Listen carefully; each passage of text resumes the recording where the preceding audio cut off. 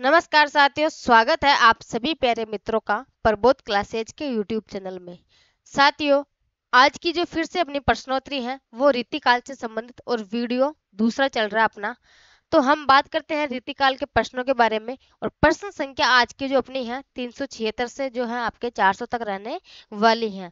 तो आज के अपना जो पहला प्रश्न है, उसके बारे में हम बात करते हैं। आज का तो पहला और आपके जो प्रश्नोत्तरी का है, वो तीन सौ छिहत्तर नंबर का प्रश्न है। तो हम बात करते हैं प्रश्न के बारे में। सबसे पहला प्रश्न आपके सामने रीतिकाल के संदर्भ में रीति काव्य किसे कहते हैं? साथियों, प्रश्न है आपके सामने कि रीति काल के संदर्भ में रीति काव्य किसे कहते हैं? अगर हम बात करते हैं इनके ऑप्शन के बारे में तो पहला ऑप्शन आपके सामने जिसकी रचना विशिष्ट पद्धति अथवा नियमों को दृष्टि में रखकर की गई हो। रीति काल के संदर्भ में रीति काव्य किसे कहते हैं? तो इन, जो आपकी विशेषता है पहली वो दी गई है कि जिसकी रचना विशिष्ट पद्धति अथवा नियमों को दृष्टि में रखकर की गई हो तो क्या वो रीति काव्य कहलाता है? बी नंबर का ऑप्शन आपका, जिसकी आत्मा अलंकार हो ये तो कोई प्रश्न नहीं होता जिसकी आत्मा अलंकार हो। सी है आपके सामने जो गुण विशिष्ट रचना हो और डी ऑप्शन आपके सामने जो भारतीय परंपराओं का वर्णन करे। तो साथ ही ये दो ऑप्शन तो आपको देखते ही काट देने हैं, क्योंकि जो ये दो ऑप्शन है, बिल्कुल भी नहीं लग रहे कि रीति काव्य किसे कहते हैं। बाकी रीति काव्य कहते किसे हैं तो जिसकी रचना विशिष्ट पद्धति अथवा नियमों को दृष्टि में रखकर की गई हो तो रीति काव्य कहलाता है। तो आपका जो ए नंबर का ऑप्शन है, बिल्कुल सही उत्तर हो जाएगा। अगले प्रश्न के बारे में हम बात करते हैं। 377 नंबर का प्रश्न है आपका। निम्नलिखित में से क्या रीति मुक्त कविता की विशेषता नहीं है? जो आपके कौन सी है? कौन सी रीति मुक्त कवि, जो कविता है, उसकी विशेषता नहीं है। तो नहीं वाली पूछ रहा है आपको। ए नंबर का ऑप्शन है रीति मुक्त कवियों का प्रेम वेता प्रदान है। तो साथियों ये तो आपने जो है, इससे जस्ट पहले वाली वीडियो थी, उसके अंदर भी जो है आपने ये वाली जो विशेषता देखी थी कि रीति मुक्त कवियों का प्रेम वर्णन वेता प्रदान है। बी नंबर का ऑप्शन है, प्राचीन काव्य परंपरा का अनुसरण इनकी उल्लेखनीय विशेषता है। साथ ही विशेषता नहीं वाला पूछ रहा है तो विशेषता को चारों ऑप्शन अच्छे से पढ़ना है, जो आपकी प्राचीन काव्य परंपरा का अनुसरण इनकी उल्लेखनीय विशेषता है। सी नंबर का ऑप्शन है, इनके प्रेम में उदाता है, रीतिबद्ध कवियों जैसी इंद्रिय वासना नहीं। ठीक है? डी नंबर का ऑप्शन है, इस धारा के काव्य में कवियों की प्रेमानुभूति को आत्माभिव्यक्ति की शैली में स्थान प्राप्त हुआ है। यहाँ हम बात करते हैं साथियों कि कौन सी विशेषता नहीं है तो आपके जो बी नंबर का ऑप्शन है प्राचीन काव्य परंपरा का अनुसरण, इनकी उल्लेखनीय विशेषता है। तो नहीं है साथियों, प्राचीन काव्य की परंपरा कहाँ से हो जाएगी? तो ये आपका जो है तीन सौ सतहत्तर नंबर के जो ऑप्शन है, उसमें आपका बी नंबर का ऑप्शन है इसका जो है सही उत्तर हो जाएगा। यही जो है आपके रीतिमुक्त कविता की विशेषता नहीं है। ठीक है? इसके बाद अगले प्रश्न के बारे में हम बात करते हैं। गणानंद की काव्य भाषा थी। जो साथियों गणानंद जी है, उनकी भाषा कौन सी थी? तो उनकी भाषा के बारे में हम बात करते हैं। तो उनकी भाषा थी खड़ी बोली या फिर आपके भोजपुरी। छह नंबर का ऑप्शन है अवधि और डी नंबर का ऑप्शन है आपके ब्रज भाषा। साथियों, अगर हम बात करते हैं गणानंद की भाषा के बारे में तो उनकी भाषा कौन सी थी? ब्रज भाषा। कौन सी थी? ब्रज भाषा। और अगर साथियों, हम गणानंद की रचनाओं के बारे में बात करते हैं, जितनी बार पढ़ेंगे, उतनी बार अगर हम रचनाओं का, रचनाओं के बारे में चर्चा करेंगे तो आपको रचनाएँ अच्छी तरीके से याद हो जाएगी। अगर गणानंद की रचना के बारे में हम बात करते हैं तो हो जाएगी इनकी सुजान सार। कौन सी? सुजान सार। एक हो जाएगी इनकी इश्क लता इश्क लता एक हो जाएगी इनकी विरह लीला। विरह लीला। एक रचना हो जाएगी इनकी वियोग बेली। वियोग बेली। ठीक है? आदि इनके, जैसे उनकी बहुत सारी रचनाएँ हैं तो वे आपके किसकी हो जाएगी? ज्ञानानंद की रचनाएँ कौन कौन सी? सुजान सार इश्कलता विरह लीला और वियोग वेली। साथियों पिछली बार आपके जो एग्ज़ाम में प्रश्न पूछा गया था, वो इस प्रकार से पूछा गया कि निम्न में से ज्ञानानंद की रचना नहीं है। अब देख लो, अगर आपको उनकी रचना सही बताने के लिए उनकी सारी रचनाएँ याद करनी पड़ेगी, तभी आप जो है नई वाला ऑप्शन है उसको हटा सकते हो। अगर साथियों, यहाँ हम बात करते हैं ज्ञानानंद की प्रेमिका के बारे में। इनकी प्रेमिका का नाम क्या था? तो आपके क्या था? इनकी प्रेमिका का नाम सुजान कौन थी? सुजान। ठीक है तो आपका यहाँ पे इनकी भाषा के बारे में पूछा गया है तो आपका डी नंबर का जो ऑप्शन है, यहाँ पे सही उत्तर हो जाएगा। इसके बाद अगले प्रश्न के बारे में बात करती हूँ। तीन नंबर का प्रश्न है, केशव दास का अलंकार पर आधारित ग्रंथ कौन सा है? जो साथियों, केशव दास है, इनका अलंकार पर आधारित कौन सा ग्रंथ है? पहला ऑप्शन आपके सामने विज्ञान गीता, जिसकी रचना कब हुई थी? तो 1610 ईस्वी में। दूसरा है रसिक प्रिया रचना पंद्रह सौ इक्यानवे ईस्वी में रतन बावनी या फिर कवि प्रिया, जिसके रचनाकार क्या है 1601 ईस्वी में। ठीक है? अब हम यह बात करते हैं, साथियों केशव दास का अलंकार पर आधारित ग्रंथ कौन सा है? तो कवि प्रिय है, जो इनके अलंकार पर आधारित ग्रंथ है। अलंकार पर आधारित रचना है तो कौन सा हो जाएगा? कवि प्रिय। तो आपका यहाँ पे जो है, चौथे नंबर का ऑप्शन है, बिल्कुल सही उत्तर हो जाएगा। अगले प्रश्न के बारे में हम बात करते हैं 380 नंबर का प्रश्न है, मेरी बहु बाधा हरो दोहा निम्न में से किस कवि का है? मेरी बहु बाधा हरो किस कवि का है ये दोहा साथियों? तो हम बात करते हैं सबसे पहले नंबर के ऑप्शन के बारे में, बिहारी जी का। बी नंबर का ऑप्शन है कबीर दास सी नंबर का ऑप्शन है रहीम और डी नंबर का ऑप्शन है चौथे नंबर का ऑप्शन आपका रसखान। तो साथियों, मेरी बहु बाधा हरो ये आपके जो है बिहारी जी है, इनका दोहा है। इनकी जो ये दोहा, ये पंक्ति है आपकी, मेरी बहु बाधा हरो इनकी जो रचना है, बिहारी सत्सई उससे ली गई है ये जो दोहा है, उससे लिया गया है। कौन सा? मेरी बहु बाधा हरो। इसमें जो है, आपके क्या दिया गया है? इसकी अगर व्याख्या करें हम तो इसमें गरीब लोगों की समस्या को खत्म करने की जो है बात कही जाती है। किसके अंदर? इस पंक्ति के माध्यम से। किसमें? मेरी बहु बाधा हरो। इसके अंदर जो है, ये आपकी बिहारी सही से ली गई है और इसके अंदर किसकी बात की गई है? तो जिसमें गरीब लोगों की समस्या थी, उनको खत्म करने की जो बात कही जाती है, वो इस पंक्ति के माध्यम से कही जाती है। ठीक है? तो आपका यहाँ पे जो है एक नंबर का ऑप्शन है, बिल्कुल सही उत्तर हो जाएगा। इसके बाद अगले प्रश्न के बारे में हम बात करते हैं। साथियों, आपका प्रश्न है तीन सौ इक्यासी। केशवदास महाकवि एवं रीति काव्य के प्रथम उन्नायक हैं। जो केशवदास है, महाकवि एवं रीति काव्य के प्रथम उन्नायक हैं। कथन किस कवि का है? जो साथियों, आपके सामने कथन दिया हुआ है, मोस्ट एग्ज़ाम की दृष्टि से आपके लिए भी मोस्ट भी है। केशव दास महाकवि एवं रीति काव्य के प्रथम उन्नायक हैं। कथन किस कवि का है? अगर हम ए नंबर के ऑप्शन के बारे में बात करें तो बच्चन सिंह का, बी नंबर का option Nandadulare Vajpeyi, C number का ऑप्शन आपके सामने राम स्वरूप चतुर्वेदी और डी नंबर का ऑप्शन है नगेंद्र जी। तो साथ ही यह कथन कहने वाले कौन हो जाएँगे आपके? नंद दुलारे वाजपेयी। इन्होंने कहा था कि केशव दास महाकवि एवं रीति काव्य के प्रथम उन्नायक हैं। तो आपका बी नंबर का जो ऑप्शन है, यहाँ पे सही उत्तर हो जाएगा। इसके बाद अगले प्रश्न के बारे में हम बात करते हैं। केशव संस्कृत के क्लासिक पंडित थे। कथन किस कवि का है? मोस्ट साथियों की संस्कृत के क्लासिक पंडित किसे कहा जाता है? तो केशव दास को कहा जाता है। अब इनको कहा किसने था? तो आपके सामने ए नंबर का ऑप्शन है हजारी प्रसाद द्विवेदी। बी नंबर का ऑप्शन है बच्चन सिंह। सी नंबर का ऑप्शन है रामस्वरूप चतुर्वेदी और डी नंबर का ऑप्शन आपके सामने महावीर प्रसाद द्विवेदी। तो साथियों केशव संस्कृत के क्लासिक पंडित थे? ये किसने कहा था? तो आपके बच्चन सिंह जी हैं। इन्होंने कहा था कि जो केशव दास जी हैं, ये संस्कृत के क्लासिक पंडित कहलाते हैं। ठीक है?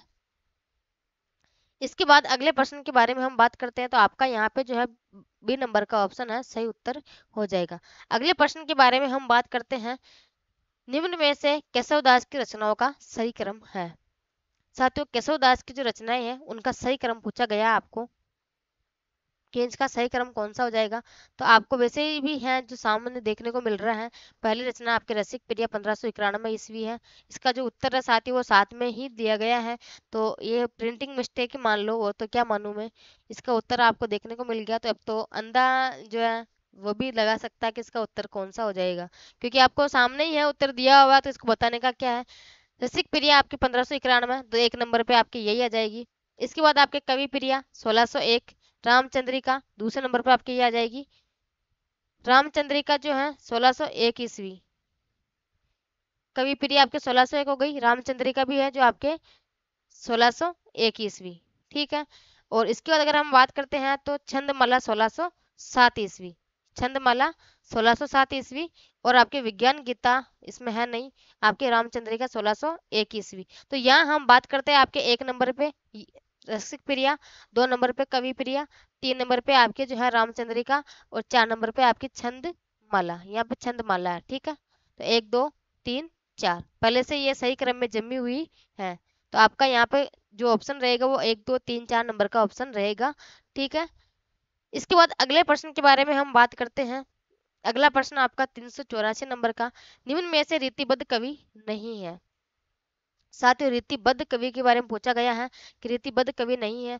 ए नंबर का ऑप्शन है मतीराम, बी नंबर का ऑप्शन है चिंतामणि, सी नंबर का ऑप्शन आपके सामने भूषण और डी नंबर का ऑप्शन है पचनेश कवि पजनेस तो यहाँ हम बात करते हैं साथियों रीतिबद्ध कवि। आपके मतीराम रीतिबद्ध कवि कहलाते हैं, चिंतामणि रीतिबद्ध कवि है। भूषण जो है आपके रीतिबद्ध है, केशव दास हो गए आपके। और अगर हम यहाँ बात करते हैं पजनेस के बारे में तो साथियों ये पजनेस जो है आपके, यह आपके जो है रीति सिद्ध कवि हो जाएँगे। कौन से? रीति सिद्ध कवि। ठीक है? तो आपका जो यहाँ पे ऑप्शन भी है डी नंबर का ऑप्शन सही रहने वाला है, क्योंकि आपके जो मतीराम चिंतामणि भूषण है, वो रीतिबद्ध कवि है और आपके पजनेश है, वो रीति सिद्ध कवि कहलाते हैं, ठीक है? अगले प्रश्न के बारे में हम बात करते हैं, तीन सौ पचासी नंबर का प्रश्न है, निम्नलिखित में से कौन सा भूषण की रचना नहीं है? कौन सी? ठीक है? कौन सी भूषण की रचना नहीं है? अगर हम यहाँ पे बात करते हैं ए नंबर का option Seva Bawani B number का ऑप्शन है शिवराज भूषण, सी नंबर का ऑप्शन आपके सामने रतन बावनी और डी नंबर का ऑप्शन है छत्रसाल दशक अगर साथियों, अगर हम यह बात करते हैं आपके तो कवि भूषण की रचनाएँ आपके शिवा बावनी है, शिवराज भूषण जो है भूषण की रचना है, छत्रसाल दशक जो है आपके कवि भूषण की रचना है। अगर हम यह बात करते हैं रतन बावनी की तो साथियों, रतन बावनी जो है आपके यहाँ केशव दास की रचना है। किसकी है? केशव दास की रचना है। तो आपके रतन भावनी केशव दास की हो जाएगी? बाकी शिवा भावनी, शिवराज भूषण और छत्र साल दशक किसकी हो जाएगी? आपके कवि भूषण की रचनाएँ हो जाएगी। तो आपका यहाँ पे सी नंबर का जो ऑप्शन है, सही उत्तर हो जाएगा। इसके बाद अगले प्रश्न के बारे में हम बात करते हैं। अगले वाले प्रश्न है आपका, वो है, निम्नलिखित में से क्या रीति मुक्त कविता की विशेषता नहीं है? क्या नहीं, कौन सी? ठीक है? कौन सी जो है आपके रीति मुक्त कविता की विशेषता नहीं है? यहाँ हम बात करते हैं पहले नंबर के ऑप्शन के बारे में। रीति मुक्त कवियों का प्रेम, वर्णन व्यता प्रदान है। बी नंबर का ऑप्शन है, दूसरे नंबर का ऑप्शन है, प्राचीन काव्य परंपरा का अनुसरण इनकी उल्लेखनीय विशेषता है। तीन नंबर का ऑप्शन है, इनके प्रेम में उदाता है, रीतिबद्ध कवियों जैसी इंद्रिय वासना नहीं है। इस काव्य धारा के, इस धारा के काव्यों में कवियों की प्रेमानुभूति को आत्माभिव्यक्ति की शैली में स्थान प्राप्त हुआ है। तो साथियों, ये जो प्रश्न आपके शायद पहले भी आ चुका है तो कोई बात नहीं, फिर से दोबारा आपके जो प्रिंटिंग मिस्टेक हो सकती है। प्राचीन काव्य परंपरा का अनुसरण, इनकी उल्लेखनीय रचना नहीं है तो आपका यहाँ पे भी जो दूसरे नंबर का ऑप्शन है, बिल्कुल सही उत्तर हो जाएगा। अगले प्रश्न के बारे में हम बात करते हैं आपके। निम्नलिखित में से किस ग्रंथ में सही काव्यांगों का विवेचन, सर्वांग विवेचन काव्यंगा को काव्यंग काव्यंगा को काव्यांगों का विवेचन, सर्वांग विवेचन किया गया। साथ ही कुछ शब्द मेरे से मुँह से नहीं निकलते हैं मतलब सही जो उनका उच्चारण नहीं कर पाती हूँ तो आप उनको जो है थोड़ा इग्नोर करने की कोशिश करें, क्योंकि निम्नलिखित, जो आपके निम्नांकित में से किस ग्रंथ में सही काव्यांगों का विवेचन, सर्वांग विवेचन किया गया है? अगर यहाँ हम इस प्रश्न के बारे में बात करते हैं तो 2014 के अंदर आपके प्रश्न पूछा गया है। सबसे पहले ऑप्शन के बारे में हम बात करते हैं रसालास, दूसरा है ललित ललित लीलाम ललित ललाम, सी ऑप्शन आपके सामने रसराज भूषण, सॉरी शिवराज भूषण और डी नंबर का ऑप्शन आपके कवि कुल कल्पतरु, कवि कुल कल्पतरु। अगर यहाँ हम बात करते हैं आपके तो साथियों, काव्यांगों का विवेचन, सर्वांग विवेचन किया गया तो आपके रस रस विलास में किया गया है, ललित ललाम में किया गया है, शिवराज भूषण में आपके जो है किया गया है, आपके जो डी नंबर का जो है, ये आपके सर्वांग विवेचन रचना नहीं है। ये किसकी है साथियों, आपके रचना के बारे में हम बात करते हैं, आपके चिंतामणि त्रिपाठी की है। किसकी है? चिंतामणि त्रिपाठी की रचना है ये, ठीक है? और ये आपके सर्वांग विवेचन रचना नहीं है। तो आपका यहाँ पे डी नंबर का जो ऑप्शन है, सही उत्तर हो जाएगा। इसके बाद अगले प्रश्न के बारे में हम बात करते हैं। जन्म काल के अनुसार इन कवियों का सही कालानुक्रम है। साथ ही कालानुक्रम वाले जैसे कालक्रम के आधार पर आपको जो है, अच्छे से एक एक कवि का जो है कालक्रम याद रखना है। उनका जन्म कब हुआ था, उनका निधन कब हुआ था, ठीक है? जन्म की दृष्टि से आपको अच्छे से याद रखना है कि किसको जो जन्म है वो कब हुआ था। तो सबसे पहले हम यहाँ बात करते हैं आपके देव केशवदास चिंतामणि और वापस केशवदास। तो हम यह बात करते हैं साथियों आपके देव। तो देव का रचना काल जो जन्म में वो कब हुआ था? सोलह ईस्वी में। केशव दास का पंद्रह पचपन ईस्वी में जन्म हुआ था। चिंतामणि के बारे में हम बात करते हैं साथियों तो 1609 ईस्वी में इनका जन्म हुआ था और केशव दास का वही पचपन। ठीक है? तो अब आपका जो यहाँ पे है पहले नंबर का ऑप्शन तो आपके जो है कट गया और आपका जो सी नंबर का ऑप्शन है वो भी कट गया। बचा आपका दूसरा और चौथा। डी बी और डी नंबर का ऑप्शन है। अब इसके बाद हम बात करते हैं चिंतामणि आ रहा है बी में और जो आपका डी नंबर का ऑप्शन है उसमें पद्माकर आ रहा है। तो चिंतामणि का जो जन्म है वो 1609 ईस्वी है और पद्माकर के बारे में हम बात करते हैं तो सत्रह ईस्वी है। तो साथियों यही जो अपना है, वो डी नंबर का ऑप्शन भी कट जाता है, क्योंकि आपके जो पहले हैं वो चिंतामणि आएँगे, उसके बाद पद्माकर आएँगे। तो आपका जो बी नंबर का ऑप्शन है, बिल्कुल सही उत्तर हो जाएगा, जो केशव दास है, इनका पंद्रह में जन्म हुआ था, चिंतामणि का जो है सोलह में हुआ था, देव का जो है आपके सोलह ईस्वी में हुआ है, और पदमाकर का जन्म के बारे में हम बात करते हैं तो सत्रह ईस्वी में इनका जन्म हुआ है। तो आपका जो बी नंबर का ऑप्शन है, यहाँ पे केशव दास, चिंतामणि त्रिपाठी, देव और पद्माकर ठीक है? तो आपका यहाँ पे जो हो जाएगा बी नंबर का ऑप्शन बिल्कुल सही उत्तर हो जाएगा। 1555 उसके बाद 1609 उसके बाद आपके जो है सोलह और उसके बाद हम बात करें तो आपके सत्रह ठीक है? तो आपका बी नंबर का जो ऑप्शन है, यहाँ पे सही उत्तर हो जाएगा। अगले प्रश्न के बारे में हम बात करते हैं। अगला प्रश्न है, केशव की तुलना बेन जॉनसन से की जा सकती है। केशव व्यंग्य के सफल कवि हैं। साथियों, आपके सामने जो है, ये कथन है, एक की किसका है ये कथन? ठीक है? कथन है, केशव की तुलना बेन जॉनसन से की जा सकती है। केशव व्यंग्य के सफल कवि है, ये किसने कहा था? तो आपके सामने ए ऑप्शन है बच्चन सिंह ने, बी ऑप्शन है रामकुमार वर्मा ने, सी ऑप्शन है आपके सामने अज्ञे ने, और डी ऑप्शन है इनमें से कोई नहीं। यहाँ अगर हम सही उत्तर के बारे में बात करें साथियों तो आपका तीन सौ नवासी नंबर का जो प्रश्न है, इसमें जो अज्ञेय है, इन्होंने कहा था कि केशव की तुलना बेन जॉनसन से की जा सकती है। केशव व्यंग्य के सफल कवि है। तो किसने कहा था ये? अज्ञेय ने कहा था तो आपका यहाँ पे सी नंबर का जो ऑप्शन है, सही उत्तर हो जाएगा। अगले प्रश्न के बारे में हम बात करते हैं। बोधा का असली नाम क्या था? साथियों, अगर हम यहाँ बात करते हैं बोधा का असली नाम क्या था? ए नंबर का ऑप्शन है बुद्धिराम, सी, बी नंबर का ऑप्शन है सुबोध चंद्र, सी नंबर का ऑप्शन है बुद्धि सेन और डी नंबर का जो ऑप्शन है प्रबोध चंद्र। तो साथियों बोधा का असली नाम क्या था आपके? तो बुद्धि सेन क्या था? बुद्धि सेन आपका यहाँ पे जो है सी नंबर का ऑप्शन है, बिल्कुल सही उत्तर हो जाएगा। साथ ही इन्होंने बुद्धि, जो सेन, इनका, जिनका नाम है बोधा बुद्धि सेन नाम था, इनको बोधा नाम से किसने कहा था? तो बोधा नाम से इनको पुकारने वाले कौन थे? वो जाएँगे आपके पन्ना नरेश पन्ना नरेश खेत सिंह खेत सिंह। इन्होंने कहा था इनको कि, किस नाम से? बोधा नाम से। उपनाम इनको कौन कहा था? तो पन्ना नरेश खेत सिंह ने इनको बोधा नाम से पुकारा था। ठीक है इसके बाद अगले प्रश्न के बारे में हम बात करते हैं। बिहारी सत्सई की टीका लाल चंद्रिका नाम से किसने की? जो साथियों, आपके बिहारी सत्सई की टीका है, लाल चंद्रिका नाम से किसने की थी? तो पहला नंबर का ऑप्शन आपके सामने लल्लू लाल, बी नंबर का ऑप्शन है सूरती मिश्र, सी नंबर का ऑप्शन है जगन्नाथ दास रत्नाकर और डी नंबर का ऑप्शन है अंबिका दत्त व्यास। तो साथियों, यह हम बात करते हैं कि इनको जो रचना लाल चंद्रिका किसने की थी? तो लल्लू लाल ने जो है इसकी रचना की थी। किसकी? लाल चंद्रिका।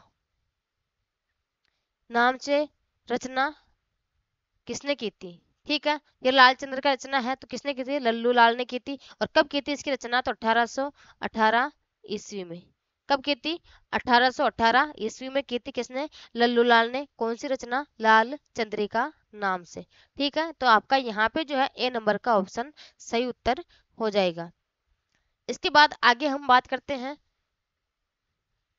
कवि जो जिस प्रकार संवेदनशील और प्रसन्न धर्म वाला हृदय मिलना चाहिए, वैसा वैसा केशव को नहीं मिला था, कथन किस कवि ने दिया है? साथियों, आपके सामने प्रश्न तीन सौ बरानवा नंबर का। प्रश्न है, कवि को जिस प्रकार का संवेदनशील और प्रेषण धर्म वाला हृदय मिलना चाहिए, वैसा केशव को नहीं मिला था, कथन किस कवि ने दिया था? अगर यहाँ पे हम ऑप्शन के बारे में बात करते हैं। ए नंबर का option Hazari Prasad Dwivedi, B number का ऑप्शन है राम कुमार वर्मा, सी नंबर का ऑप्शन है रामस्वरूप चतुर्वेदी और डी नंबर का ऑप्शन है इनमें से कोई नहीं। तो साथियों, यहाँ हम बात करते हैं कि कहने वाले कौन आपके आचार्य हजारी प्रसाद द्विवेदी है। इन्होंने ये कथन दिया था कि कवि को जिस प्रकार संवेदनशील और प्रसन्न धर्म वाला हृदय मिलना चाहिए, वैसा केशव को नहीं मिला था। तो ये कथन किसने कहा था? आपके आचार्य हजारी प्रसाद द्विवेदी ने कहा था। तो आपका यहाँ पे जो है ए नंबर का ऑप्शन बिल्कुल सही उत्तर हो जाएगा। अगले प्रश्न के बारे में हम बात करते हैं। रस कविता को अंग भूषण है। भूषण सकल काव्य के संदर्भ में यह पंक्ति किसकी है? साथ पंक्ति जो है, ये मोस्ट है। रस कविता को अंग भूषण है। भूषण सकल काव्य के संदर्भ में यह पंक्ति किसकी है? तो आपके सामने ऑप्शन है देव की, भिखारी दास की। सी नंबर का ऑप्शन है भूषण की और डी नंबर का ऑप्शन है केशव दास की। तो साथियों, यहाँ हम बात करते हैं, ये पंक्ति किसकी है? तो आपके भिखारी दास जी की जो है, ये पंक्ति है। अगर हम बात करते हैं इनकी अन्य जो रचनाएँ होती है, साथ ही भिखारी दास की रचनाएँ कौन कौन सी हैं तो अगर हम बात करते हैं इनकी रचनाओं के बारे में तो एक तो हो जाएगी इनकी काव्य निर्णय। कौन सी? क्योंकि साथ ही रचनाओं से संबंधित जो मोस्ट प्रश्न है, वो आपको हमेशा देखने को मिलते हैं एग्ज़ाम में। तो एक तो इनकी रचना हो जाएगी काव्य निर्णय, एक हो जाएगी छंदोर्णव पिंगल। छंदोर्णव पिंगल, ठीक है? एक रचना हो जाएगी इनकी, वो हो जाएगी श्रृंगार निर्णय। श्रृंगार निर्णय, ठीक है? एक हो जाएगी इनकी रचना, रस, सारांश। ये हो जाएगी इनकी रचनाएँ, और अन्य महत्वपूर्ण रचनाएँ हैं, लेकिन अपन जो है सारी रचनाओं के बारे में एक साथ चर्चा नहीं कर सकते, नहीं तो क्लास आपकी जो है दो घंटे की हो जाएगी। कुछ महत्वपूर्ण महत्वपूर्ण है, जिनके बारे में हम यहाँ पे चर्चा कर लेते हैं। ठीक है? इसके बाद अगले प्रश्न के बारे में हम बात करते हैं। बिहारी की भाषा चलती होने पर भी साहित्य का यह कथन किसका है? मोस्ट साथियों कथन जो आपके सामने बिहारी की भाषा चलती होने पर भी साहित्य का है। यह कथन किसका है?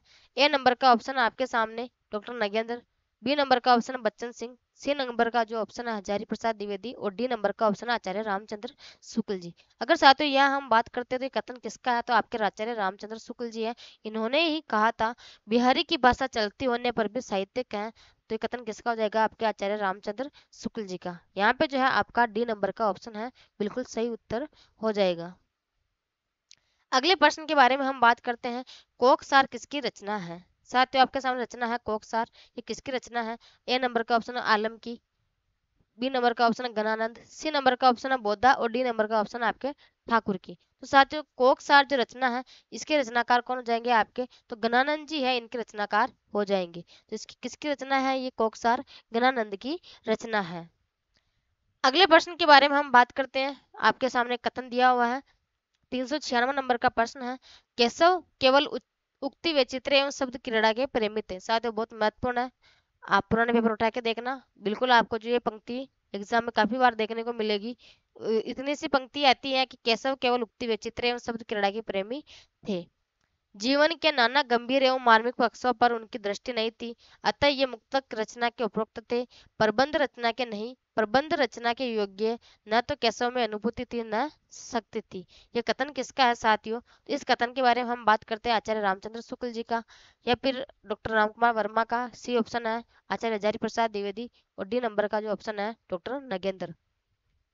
साथियों, केशव दास को जो है, उक्ति वैचित्र एवं शब्द क्रीड़ा का प्रेमी कौन कहते हैं? तो रामचंद्र शुक्ल ने कहा था किसको? केशव दास को। तो आपका जो यहाँ ऑप्शन है ए नंबर का ऑप्शन सही हो जाएगा कि जो केशव दास है, उनको उक्ति वैचित्र एवं शब्द क्रीड़ा के प्रेमी किसने कहा था? तो आचार्य रामचंद्र शुक्ल ने कहा था, जीवन के नाना गंभीर एवं मार्मिक पक्षों पर उनकी दृष्टि नहीं थी। अतः यह मुक्तक रचना के उपरोक्त थे।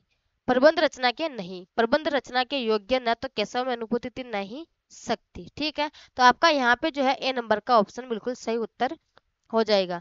इसके बाद अगले प्रश्न के बारे में हम बात करते हैं। कुंदन को रक, रंग फीको लगे जल के अति अंगन चारू गुराई। ये पंक्ति किसकी है? कुंदन को रक, रंग फीको लगे। साथियों मोस्ट है। एग्ज़ाम में पूछी गई है कि कुंदन को रंग फीको लगे जल के अति अंगन चारू गुराई। यह पंक्ति किसकी है? तो यहाँ हम बात करते हैं आपके तो ए नंबर का ऑप्शन मतीराम की। बी नंबर का ऑप्शन है बिहारी की, सी नंबर का ऑप्शन है भूषण की और डी नंबर का ऑप्शन है देव की। तो अगर साथियों, यहाँ हम बात करते हैं तो आपकी मतीराम की पंक्ति है, कुंदन को रंग फीको लगे, जल के अति अंगन चारू, ये किसकी पंक्ति है? तो आपके मतीराम की पंक्ति है। ए नंबर का जो ऑप्शन है आपका, यहाँ पे सही उत्तर हो जाएगा। इसके बाद अगले प्रश्न के बारे में हम बात करते हैं, तीन सौ अठानवे नंबर का प्रश्न है, चमचमात चंचल नयन, बीच गुट पटजिन, यह पंक्ति किसकी है? तो साथियों, इस पंक्ति के बारे में हम बात करते हैं। मतीराम की है या फिर बिहारी लाल की है या फिर भूषण की है या फिर आपका डी नंबर का ऑप्शन है देव की। तो साथियों, यहाँ पे जो है आपके चमचमात चंचल नयन बीच घूंघट पटजीन, ये पंक्ति जो है आपकी बिहारी जी की है। किसकी? बिहारी जी की। तो आपका यहाँ पे जो है बी नंबर का ऑप्शन सही उत्तर हो जाएगा। अगले प्रश्न के बारे में हम बात करते हैं। तीन सौ निन्यानवे नंबर का प्रश्न है। अपनी अपनी रीति के काव्य और कवि रीति यह पंक्ति है। अपनी अपनी रीति के काव्य और कवि रीति यह पंक्ति है। तीन सौ निन्यानवे मोस्ट है, साथी बिल्कुल प्रश्न आपको जो है पंक्ति याद रखनी है।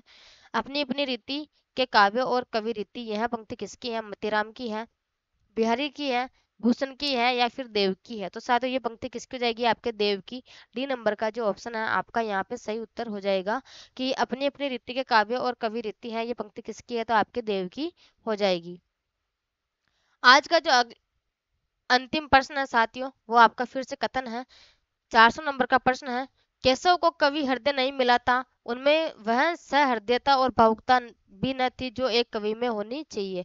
वे संस्कृत साहित्य में से सामग्री लेकर अपने पंडित्य और रचना कौशल की धाक जमाना चाहते थे, पर इस कार्य में सफलता प्राप्त करने के लिए भाषा पर जैसा अधिकार होना चाहिए वैसा प्राप्त न था।